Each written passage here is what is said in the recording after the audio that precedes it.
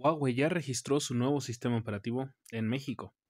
Curiosamente, y esto ya sabíamos, ¿no? Que Hongmeng es el nombre del sistema operativo de Huawei alternativo basado en Android, que muchos dicen que es una ROM en China, y que ArcOS lo registró en Alemania. Nos dio a muchos la idea de que ArcOS iba a ser el nombre de este sistema en Occidente y que en Oriente iba a ser Hongmeng OS. Pero hoy llega algo curioso y es que Huawei registró el sistema de nombre Hongmeng aquí en México ante el INPI, el Instituto Mexicano de Protección de no sé qué, ahorita mismo se los checo, aquí en el artículo donde estamos en el Universal y podemos ver justo lo que le estaba diciendo aquí, que fueron que Alemania es el único país donde se registró oficialmente ArcOS.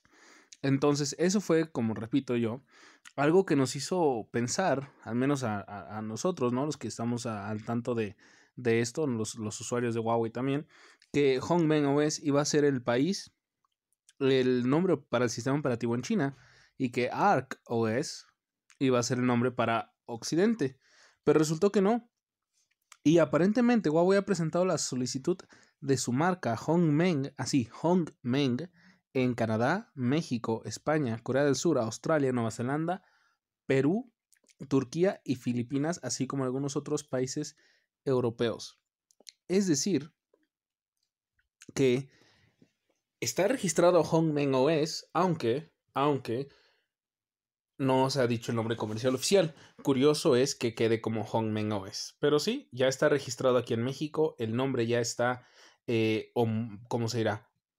Va a ser oficial ya de Huawei este nombre Hongmeng OS. Entonces, queda esperar, queda esperar qué es lo que dicen y qué es lo que piensan los usuarios de este nombre, ¿no?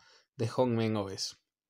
Y otra cosa curiosa es que en la información de registro dice que es un sistema operativo compatible con diferentes plataformas que incluyen computadoras, teléfonos inteligentes, tablets, relojes inteligentes y dispositivos portátiles. Es decir, que este va a ser el sistema que va a reemplazar a los sistemas que Huawei tiene en sus otros dispositivos, más o menos como un tipo iOS, ¿no? O sea, un sistema casi universal de, de la marca, que va a ser Hongmeng OS. Sería todo por este video. Sé que es algo tarde, pero estuve bastante ocupado. Te invito a que te suscribas y a que compartas el video así también si gustas dejar tu like. Ignoren a mi perro que sacudió sus orejas y nos vemos en un próximo video.